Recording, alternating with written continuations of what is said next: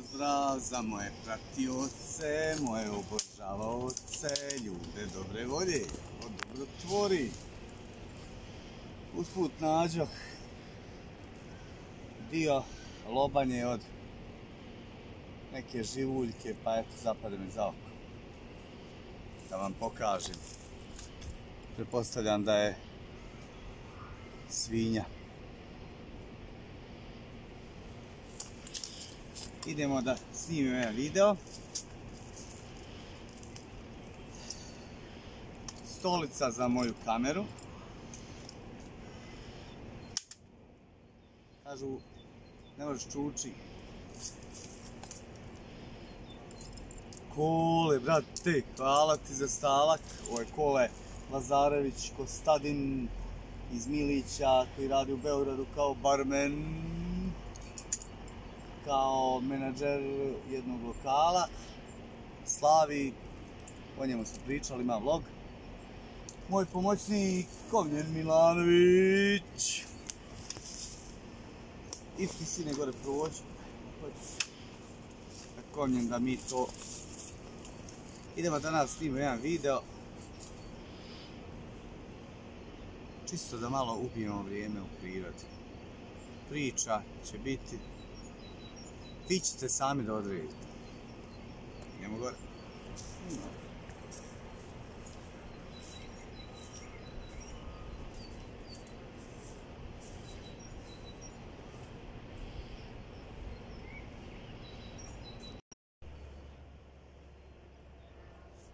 Evo nas u videu.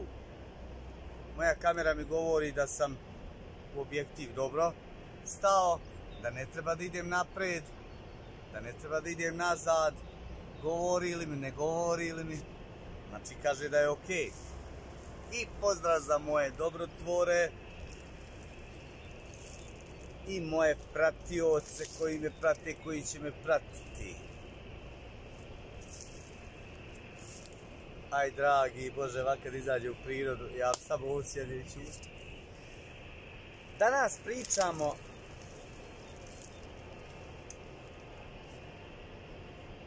temu jednu odabrao sam iz, što rekli, ona, radašinim našim, iz e, JNA, iz, znači iz vojske gdje sam proveo vojni rok u Bileć.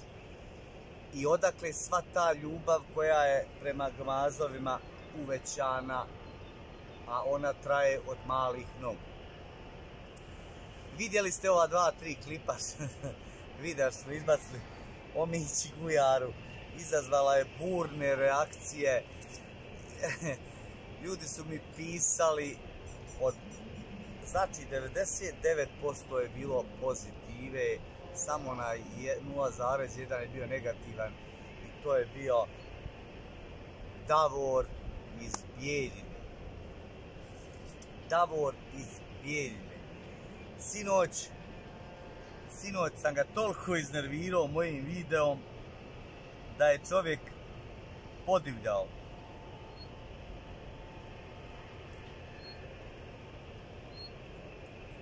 Samo dok nađemo šifru od moje supruge, pošto ovo je njen telefon, pa ja slika bi tako ovaj... E,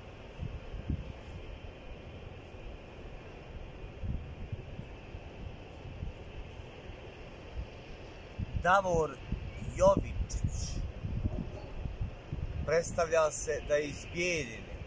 Kaže meni, a znaš ti, ja sam Davor Jovičić. Kao sad, ja sam plave krvi iz plavog I ja kaže imam školu. pa mogu ja kupiti školu. 5000 evra kupim školu, poješ.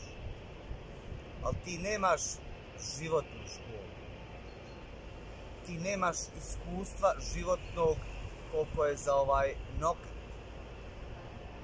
Tu školu A ove, što rekao Šojić, papirić, papiriće možda kupiš sad, ja kupim. Ja ne pismem. Nisam odvojio ne znam, već sam napisao ne znam. Napisao, izvinjavam se, Davore Jovičiću iz Zato što nije na tastaturi odvojilo. Ali eto i da sam nepismen. Evo ti si pismen. Ja znam mnogo ljudi iz moje generacije koji su bili dosta bolji, bolji đaci od mene, a koji su u svoga života napravili ništa. Ja sam pao pet puta na popravu. U petom, u šestom, u osmom, u drugom, u trećem, srednjem. Pet puta na popravu. Zašto? Pa zato što nisam stio da učim. Niko me nije mogo natjerati. Meni sinus i kosinus ne treba. Sve sam padao iz matematike. Sinus, evo, 43 godine. Još mi Pitagorina teorema nije trebala. Sinus i kosinus. Školstvo znači po meni no na. Ljude treba učiti životu i kako da se bore kroz život. Da se ne oružaju znanjem kako preživiti u pustinji, kako preživiti pad aviona, a ne sinus i kosinus. Pitagorina teorema. Moj malac dobije keca. Ja, znaš kako se ja stresem? pa to je meni smiješno. Supruga pjeni, ona, ona hoće da, da ga zavrat vata. Njoj to, kri, mene, to je ništa. To je nula bodova, zato što ja smatram to školstvo. Evo, na fakulteđi, nikad nam školovani kadar nije bio u, gostelje, u gostiteljstvu. Svi konobari imaju fakultet. Pilana, koje radi ovako uda, svi fakultete a nose tasu. Tako da vam kažem da je školstvo ošlo dole. I da samo priznajem diplome koje su završene prije rata. Čast izuzecima, čast izuzecima koji su završili na školama koje su dostojanstvene te diplome. Čast. Eto, malo smo se dotakli i te teme. Pet puta napopravio sam padu. I kad je moj brat, prvi srednji, propao na godinu dana, i on je, recimo, po meni, a drugi će nek sude, čovjek inteligentan, znači, i on nije htio da uči, jednostavno nismo to voljeli, nismo volili izazove, adrenalin, on je malo drugačiji od mene, on je više bio povučeniji, mirni, on je više živio u filmovima, u romanima. Sjećam se kad čita knjigu, nešto uči, mater u mene uđe, kaj vidiš kako moj rale uči, ljubi ga majka, ti neš ništa. A on stavio roman, Black Chico je čita, ubi se čitajući. Sve su to neke dječji fazoni i naravno danas je Bogu hvala uspješan čovjek, ima porodcu, ima i nekretnina i troje djece i, i suprugu Bogu hvala i, ima lijepu i zdravu porodcu da mu pozavidi svaki čovjek. I on kad je propao prvi, prvu godinu, pao na godinu, ide sad sa mnom, on je godinu star, dana stariji od. Ja dođem, majka plače. Bez oca smo rasli, sramota je to bilo u to vrijeme. Brukamo je, mi ćemo kopati kanale i tako nešto. Ja se naljutim i završim prvi srednje sa vrlo dobrim. Tri boda mi falila sa odličnim iz biologije sam predavao lekciju kod profesora Zibara o ćelijama, o ovome, o onome. A to je bilo kod, nisam predavao, sam bio profesor, to je bilo kod njega u praksi da da izabere, kaže, e, ti ćeš sutra da predaješ tu lekciju, a ti ćeš sutra, a ti ćeš sutra. Ova, ja sam predavao i dobio sam uvijek pet. Kada sam prošao s vrlo dobri, mogao sam, da sam htio i s odlično proći. I vidio da to znam, i vidio da to mogu. Kad tica mokri, kako tica mokri, tica ne mokri, tica izbacuje s izmetom, to su, to su sve bile po meni neke stvari. Samo sam volio tu biologiju. I kad sam vidio da to mogu i znam, opet sam prestao da učim i opet sam pao na popravni i, maturirao s popravnom. Eto tako da vam ja malo objasnim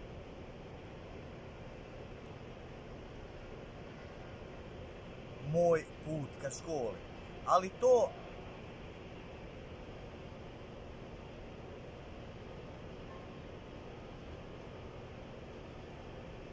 šifru ne mogu nikako potrebiti. Supruga mi začala telefon svoj. Ovaj, sad ću da, da ga...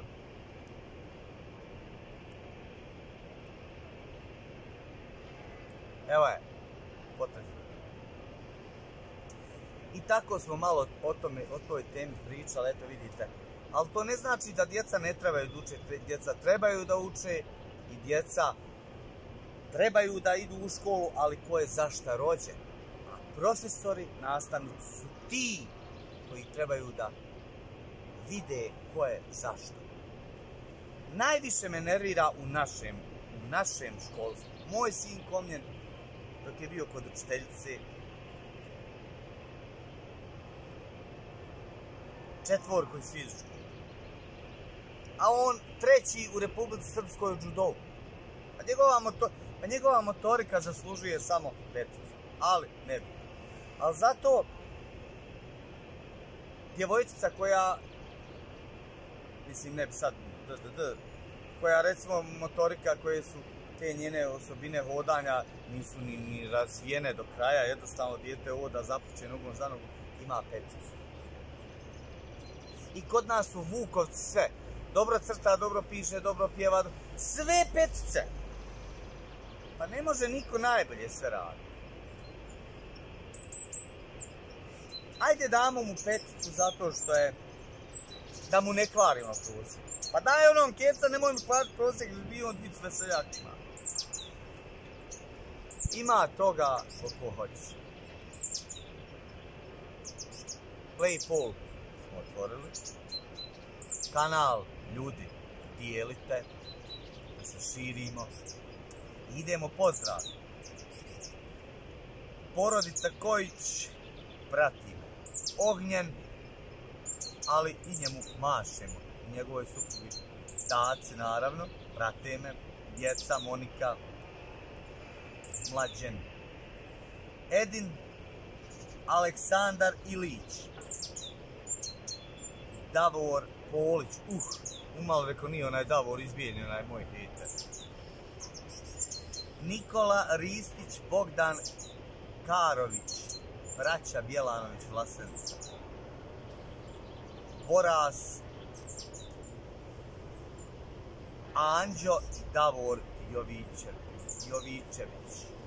To su dva moja hejtera što su se podržali, povjerovali priču o Ivici i Marici. Onoj vještici što je je kuvala u, ka u kazanu, pa su oni pobjegli.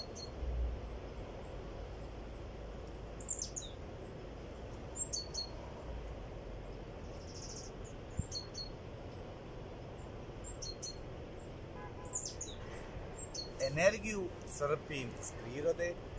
Dosta ljudi kaže kako, kako si nekad pozitivan, kako tu energiju širiš, kako pa nisam ja mašina, pa da ja sam, znači naravno ja, i da se spremim za video, sada ja to nešto bože učim, a jok, ja sam izađem kad osjetim potrebu da se isprazim i kad osjetim potrebu da imam energiju, ja dođem to dam i čao vi gledaj. E, hvala vam na tome što prepoznajete, ja tu energiju prikupljam, znači iz radionice, iz prirode, iz moje porodice, iz okruženja, iz svega što je lijepo. Hoću ovo da vam kažem. Ova sveska, je napisana 21.6.1996. godine. Mnogi se tad nisu bili ni rodili. Ja sam tad bio u vojsci na kursu za desetara. I pisao sam, ovdje su bile neke te pokazne vježbe, ali hoću da vam kažem otkud ta veza. Gledajte. koža od eskulapovog smuka ili bjelice, guža, guje, kako je ko već zove, crnke ili mrkulje. Sad ću mojoj kameri malo prići da pokažem. Evo ovako ne kamera vidi, vidite, e, 24 godine i peta sad će da nastane. To je koža od eskulapovog smuka kojeg smo mi oderali i pojeli u vojsci. Kada smo bili na preživljavanju u školi rezervnih oficira i podoficira. Čuvam je 24 godine. Sad je prava koža. E, znači, vidite, vremenom se iskidala, puno godina ima. I ovo sam prije 24 godine ko sebe držao i sad je došlo vrijeme da vam pokažem. Ja mislim da je moja kamera vidjela. Idemo sad nazad.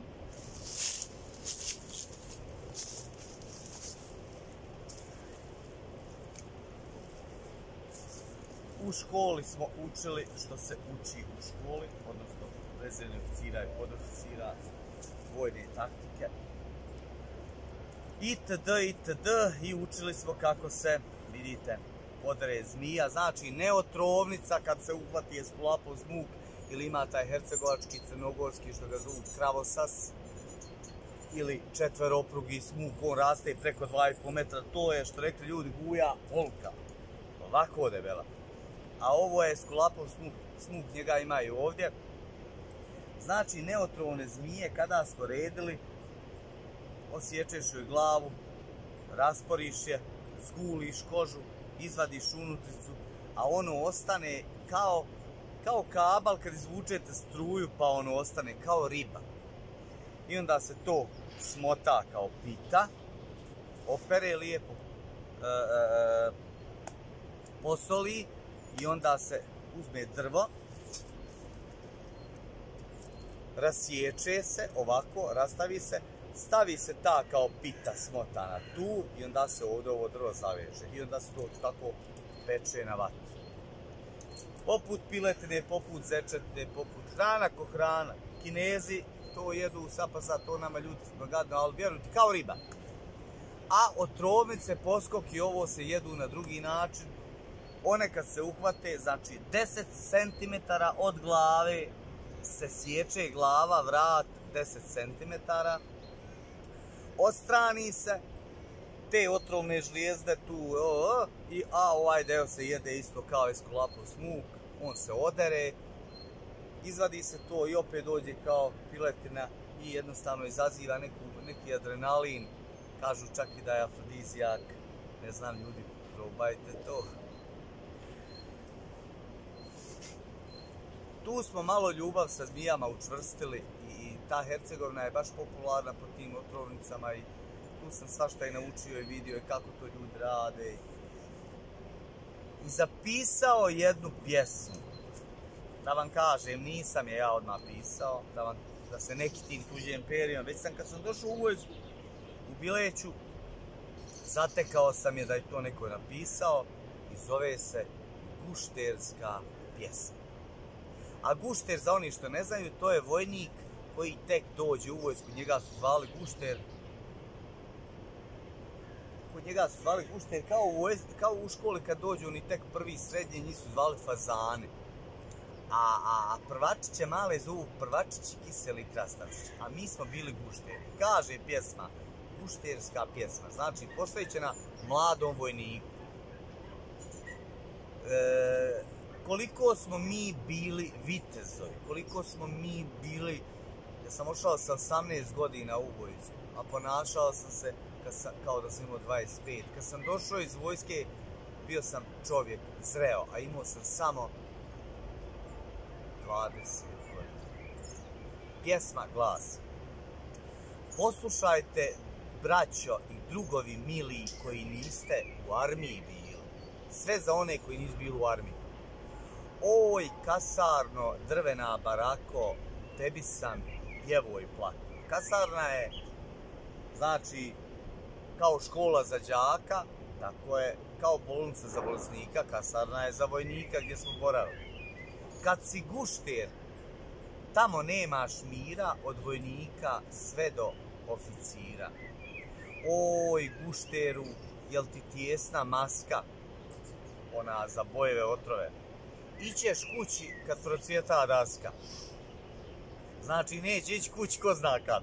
Kad je daska procvjetala. Oj, gušteru, ne bojte se gladi, fabrika se makarona gradi. Sam smo makarone jeli vesela na maju. I jaja. Kad sam došao u baraku plavu, dali meni uniformu malu. Neko viče, pantole mi tjesne, a u mene obe čizbe desne. I jest tako. Da ti pantole, jedva se vučeš u njih. Ili ti da neke volke, pa smo veselici mijenjali između. A da ti čizme, onog oba dvije desne u tebe lijeve, pa mijenjaš. Prico šiša, svira gola glava, kolivada kad se kosi trava, pa nas vode među četiri zida, tu se društvo počelo da skida. Dovedu nas, nas 50 i sve nas skinu kod majke rođene gole. I u jednu, jednu prostoriju možda 10 sa 10 odu do sluševi, mi se svi goli kupa. Strašno s jedne strane, a i zanimljivo svi goli, nema stida, nema srama, to se... Oj, što rekli, oj, dragi moj.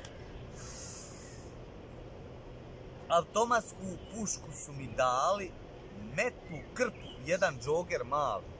Znači, pušku zadužimo, krpu i džoger, džoger je onaj džoger se... Znači, tvoje je da učiš o vojsci, o vojnim potrebama i brišeš, ribaš, ko ti god šta kaže moraš da radiš dan je jedan po godina duga, vozim džoger, treća, prva, druga. Šta to znači? Znači, samo smo džogere vozali, ribali dol. Treća, prva, druga, brže, brže, sporije. Po WC-u šetam tamo amo, samo da mi vrijeđe, vrijeme prođe malo. Dan za danom tamo sporo teče, a ja ribam skoro svako večer. To je tačno dan je ko godina, u pet se ustane i brate, do osam da padneš u nesvijest. A požarstvo, požarstvo je bilo kada požaraš, kaže požarstvo, ja sam mislio to je požar, nije. Znači, svi vojnici uveče u vodu odlože puške u hodnik i stoje na tim soškama i jedan stoji mirno i čuva naše puške i svaka četiri 3-4 sata se smjenjuje svaki vojnik kao požarstvo dežurstvo. A požarstvo to su muke ljute, po hodniku šetan tamo amo, a brojim puške po soškama stalno. I to je tačno tako, znači samo šeta, ne smiješ da sjedneš. Šetaš tamo vamo i brojiš puške, tako ne ukrade, jer ode na vojni sud. I onda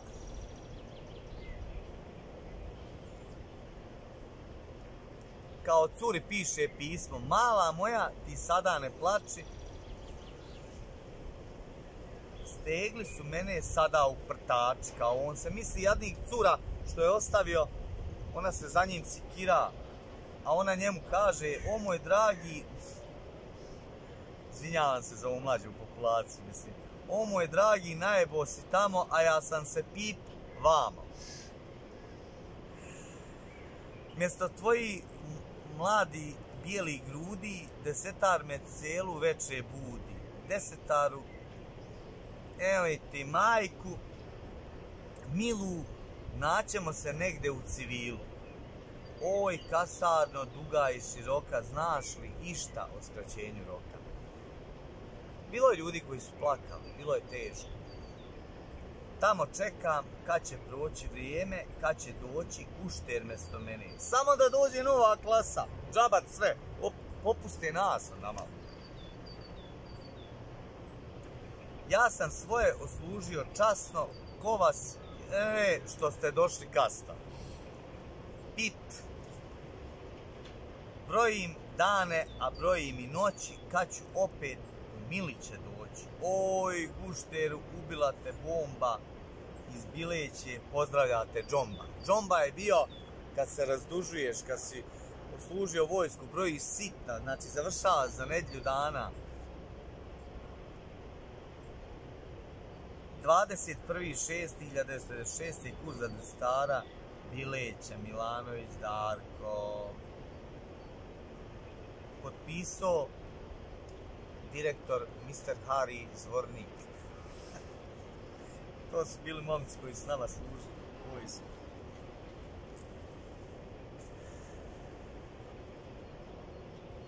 Bilo je to vrijeme prevaspitavanja, sazrijevanja i dovođenja, dovođenja u red mlade, mladih ljudi kojima je bijes i sila virili iz očiju.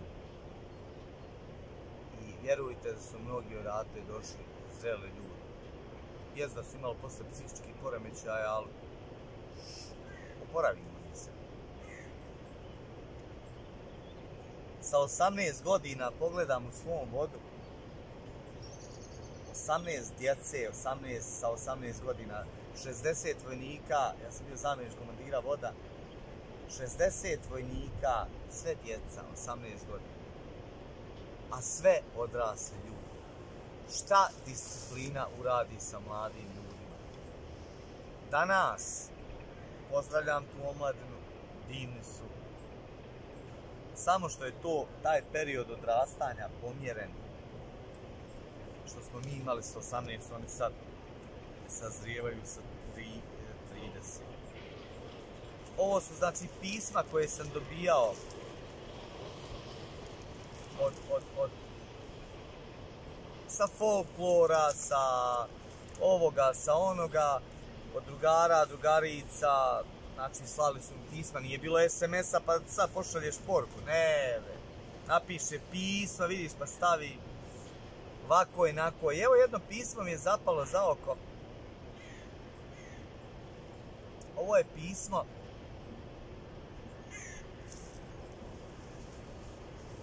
moje majke koje je meni pisao. Samo ću vam reći koliko sam bio zreo sa 18 godina. Piše mi majka kako si ovo, ono, nemoj da se sikiraš i tako dalje i tako bliže pričuvajde jednog tog tog iz Vlasenice koji je danas policajac u Vlasenici koji je me kaznio što sam ga čuo. Neću mu ime pomenuti, nema veze. Što sam ga čuvao, ja sam gore bio uh, mlađi vodnik, zamjenik vodira voda, već sam ja bio malo uspredu, mogo sam recimo da se, da se aktiviram. Ali nisam htio i tako jedna gospođa sad nije među nama, Bog da je dušu prostiš, radila je s mojom majkom i molila je, pošto je sin gore otišao u vojsku, molila je da da je malo pomognem, jer znala je da je Bileća pakao i ja sam mu pomogao, naravno. Štitio sam ga i rasporedio sam ga da ga puno ne vuče i sve jednostavno danas je policajac i sve mi je vratio to na jedan lijep način jednom kaznom. Hvala mu svak nosi svoj krst i vjeru na leđima, ali nisam mu ja ostao dužan, nisam se svađao, ne, to nije. Samo sam se ukrenuo i rekao, jel mi to hvala što sam te štitio, što sam ti donosio pozdrave od majke, što sam te zvao sa mnom u kantinu, što je tad u to vrijeme bilo neprocijenjivo, što su ti tad ti vojnici, desitari, vodnici, poručnici, niko te nije pipnuo, što te bricao šišao kao vojnika, a ne kao budalu. To mi je hvala. Kako te nije sramota majičinog groba da mi tako uradiš? Ne znači ti meni 30-50 maraka ništa kako te nije stid? Kaže, ja ću platiti mesto tebe ako nije. Opet mu je proradio taj neki unutra taj, kako da vam kažem, ta podsvijest, sugestija. Kaže, ja ću platiti mesto tebe kaznu. Nećeš ti platiti. Posle te moje, jel treba da ti kažem, da te naružim, da bi ti mene oprostio? a ja te nisam ni znao, pomagao sam. kolega je njegov policajac stajao s strane i gledao ovako. Nije mogao da vjeruje šta ja to pričam. Ja sam rekao, i naravno da ćeš platiti. I okrenuo sam se, naravno nije on platio, platio sam ja. Ali više nikad u životu me nije zaustavio, nikad u životu me više nije pokušao da kazni. Pozdravljamo se, oprostio sam mu, pozdravljam ga. Ja mislim da mu je ta moja lekcija značila u životu. Da se ponaša prema ljudima koji su mu valjali. Prema svim ljudima se ponaša korektan, a kamoli prema onim koji su mu nekad valjali. Vidite ovo, 18 mi je godina i meni majka kaže da se ne skiram ovako i onako. Šta bi sad omladinac rekao? Joj, kako mi je teško. Joj, ubit ću se. Ovo se ne može prežiti. Ne. Znate šta sam ja napisao?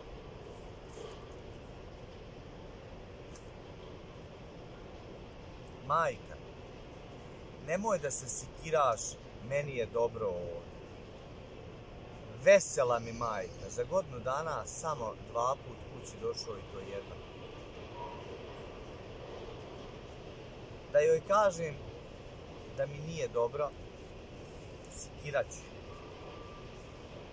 Da je lažem, mažem, nije. Dobro mi je, super mi je. Nemoj da se sikiraš meni, majka, ovo dobro. Kako mi je brat, pitan za brata, pitan za baku, to vrijeme je bila živa. Pitam za sve njih. Meni je super, ba, nemoj se brinut za mene. A svaku veče krv mokrima srce ti. Današnje bi dijete rekla, joj, pa šaljite mi 100.000 eura da ja to potrošim. Znate šta sam ja napisao? Ako iko vamo majka pođe, para mi ne treba, ja ba ne treba, eto ja tam idem, zarađujem milione. Naravno ne treba, ali znam da mi nema odakle poslati i ne treba mi, neću svoju majku da skiram. Ako neko vamo majku pođe, pošalji mi luk. Od svega toga, ja nisam majku sikirao, ja nisam htio da je maltretiran, da je skiran, da je još muke, ja sam rekao da mi je super. Nisam htio ni para da tražim, ne treba mi para, ja jedem, šta će mi sad? Samo da mi Luka pošalje da mogu da jedem. I došao mi je paket pun hrane i Luka mi je došao. I došao mi je pinđur i došao, joj bože dragi, nisam bio Luka nikad u životu, iznio sam paket i ovako sam stavio među svoje drugade, evo ga. Ali čuvi za Velan, jedan moj isto drugari, sve ih pozdravljam, znači, zvali su nas Diverzole i deo izviđačko diverzanski odred. Služili smo u miru, što mi je jako drago. Taj čuvi za Velan, on je sad jedan veliki gospodin koji živi u Beogradu i Bokun je ovo, i Kipić, i Jugo, i Grado, i Bačić, i svi ti Darko Kremenović, Mrdić, sva je ta ekipa koja mi je ostala ovdje u glavi. I Milan Marić, Jet. Sada je u obezbeđenju i ljudi, ako je rekao da preskočim, nek se ne naljuti. Pozdrav za sve vas. Taj Čuvi za Velan, on je jedan gospodin, živi sad u Beogradu i čovjek je uspio u životu, ima i kuću i porodicu i ovo i ono. Nekako bio je pomali, simpatičan i on je uz mene sve nekako išao. A ja sam ti bio onaj kabadahija, nisam nikoga zarazivo 2%. I ja i on odemo i sakrijemo teglu, pinđura i luka. Dali smo i njima da jedu, ali mi smo sakrili pod neke kamione vojne i posle svakog ručka ponesemo po tri kriška hljeba, idemo iza onih kamiona, jedemo pinđur ili ajvar kako hoće. Ali bilo je to neko lijepo vrijeme, sad se svima čujem, pozdravljam i ovim putem i Milana Marića, on je gore u Sarajevu i ljudi su se razbježali svagdje i Bopuna i ovu i to su sve moji Manuele Stolca je sad s nama bio i ovaj, tako da je to bio jedan period života mučan i mukotrpan, ali se dosta naučila. I ti ovo nemaš, Davore Jovičić. I ovaj tvoj prijatelj, i on to nema. Te škole što ste završili, one vode ne. Svašta sam naučio. Pozdrav za Davora Jovičića, moga hejtera koji živi u, u priči Ivice i Marice, u Pinokiju i tako tim bajkama. U tim vilenjacima, čudotvorcima koji dodirima liječe sve tegobe. Tako sam vam ja donio tu priču malo na neki moj način. Ja sam ovo znao da ću jednog dana da iznesem javno jedan deo. Pogledajte kakve su teke bile. Nije to bila sad sa formulom, sa ovim. I teka bila, znači, evo, kocke i kocke. To, to, to su bile teke. To su nam dijelili u vojsci.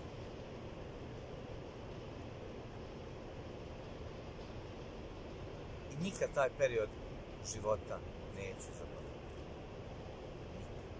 To je jedna škola koju sam prošao, koja je me svemu naučila. Do idućeg gledanja od mene, moje kamere, kože koja je stara 24 godine i moje sveske sa kursa za Destara u. Veliki pozdrav